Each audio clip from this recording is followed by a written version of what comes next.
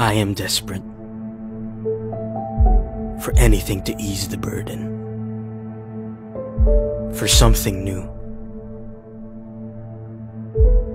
to give me anything that's certain.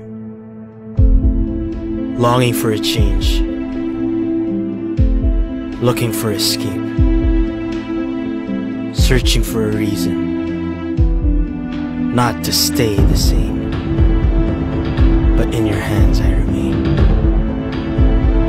I choose to heed your call. I leave it up to you. You who see my rise and fall. So cleanse me, disturb me, shake me to my